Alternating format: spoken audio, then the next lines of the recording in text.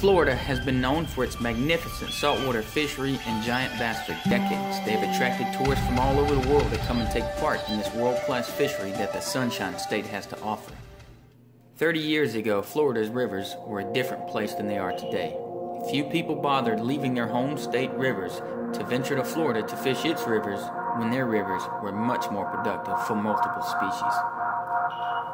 Sometime in the early 80s, fishermen started seeing a new fish popping up in the northwest Florida rivers that they had never seen before. Biologists were called in to study this strange fish and came to the conclusion that this fish was none other than Pylodictis olivaris, the flathead catfish. They monitored the predator fish as it worked its way from river to river, decimating local sunfish populations, earning itself a spot on Florida's most unwanted list. Flathead catfish only 10 years to completely dominate the Escambia and Apalachicola rivers. Locals and biologists feared the worst. They feared the flathead would eradicate sunfish populations to the point of extinction. Something funny began to happen. Instead of completely wiping out the sunfish like biologists were claiming they would, locals started reporting catching bigger sunfish and more numbers of them than they had ever before. The reports fell on deaf ears as declared a jihad on this new ugly river invader. Flatheads were shot, gutted, and slaughtered by kill tournaments and Florida biologists for almost 20 years, spending millions of dollars to try and eradicate this fish only to fail in the end. They hypothesized the repeat of electroshocking efforts in a small river on a small population may effectively reduce the flathead catfish populations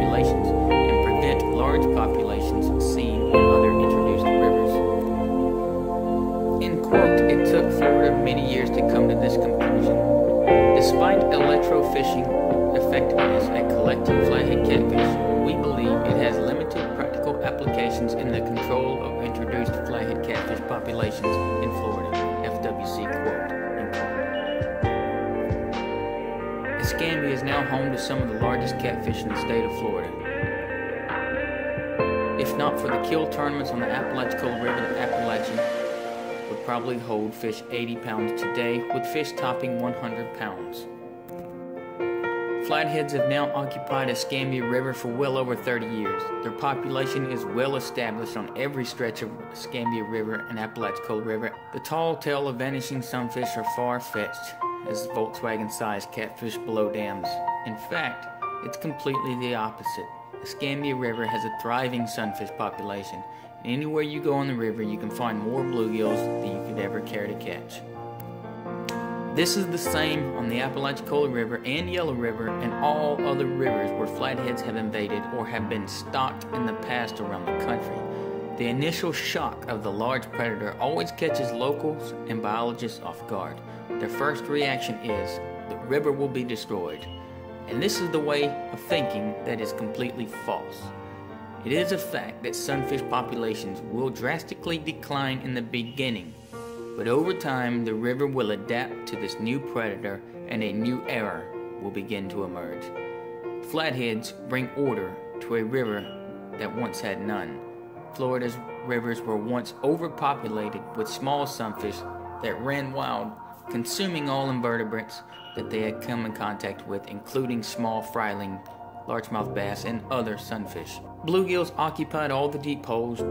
Most sunfish averaged small, much smaller than the today's standard. Shortly after the flathead invasion, sunfish began to adapt to their new predator. They now slept in the shallows or under willows and avoided deep holes at the night. The flathead swept through, consuming all the weak and frail sunfish, leaving behind a much stronger gene pool of sunfish to grow into some of the largest the state has ever seen. This same trend has taken place on countless rivers across the United States that were once void of flatheads. Even with the evidence mounting that flatheads are actually the balancing factor most rivers need, they are still frowned upon by state officials simply because they are not as glamorous or as pretty as the bass or temperate species that Florida finds so fond of. Florida even stopped peacock bass and implemented regulations to protect this invasive species simply because of how much money the fish draws to the state and its so-called ability to control tilapia.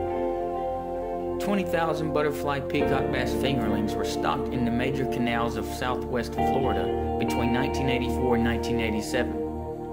If more states could see that growing trophy catfish will attract nearly as many tourists as bass, maybe and only then will flatheads and blue cats get the respect they deserve as a true sport fish. States such as Alabama and many others have seen the possibilities that catfish bring to the table and how important they are and are now, only after decades of slaughter, finally implementing strict regulations protecting the species. The trophy cat population have exploded in these states, attracting tourists from all over the country to take part in this hunt. Alabama now holds a sustainable population of 100 pound cats. Alabama offers endless amounts of sunfish living and thriving right alongside of these apex predators in perfect balanced ecosystems. South Carolina stocked flatheads in the 60s and today is ranked as one of the world-class destinations for trophy catfish. Yet it also holds a thriving sunfish population. Flatheads entered the Colorado systems in the 70s, and today trophy flatheads to rival many other states that have had flatheads since the beginning. There are still a few rivers that flatheads have only occupied since the late 90s, and these states are blindly using the same tactics to remove flatheads as Florida and other states that once tried and abandoned. You cannot eliminate flatheads. It only takes two fish to start the whole process over again. It's a big waste of taxpayer dollars. Let the river systems balance themselves out. But what you can do is decimate your trophy cat population. Another way states can balance out the rivers and take the pressures off the local sunfish population is to stock some sort of food supply for these large predators such as gizzard shad. The cats will quickly start to focus their attention on the newly introduced shad and pull back their assault on local fish. This is also the case for other commonly stocked fish that states consistently stock. Florida stocks striped bass each year in certain rivers that do not have a sustainable shad population. In turn, they have to keep stocking stripers each year, spending tons of money because the stripers won't maintain a healthy population. Granted, gizzard shad should never be stocked on a body of water that does not have a large predator to keep them in check. Gizzards grow quickly and become too large for bass and other fish to consume if left unchecked by catfish or any other large predator. Example, the St. Johns River in Florida has recently exploded with gizzard shad, and once again, the state has stepped in to try to eradicate them. The river is void of large catfish, the gizzard shad have no predators to balance their exploding population. Blue cats would be the balance this river would need, in turn, would draw in tourists from around the country. In conclusion, the invasive flathead follows a very predictable pattern when introduced to new bodies of water. They first divide and conquer, eliminating the weak and overcrowded sunfish population. Over the course of some years, the rivers begin to balance out. Flatheads will soon start to keep their own populations in check by actually consuming other small flatheads. In the end, you are left with a much more balanced river and ecosystem than ever before.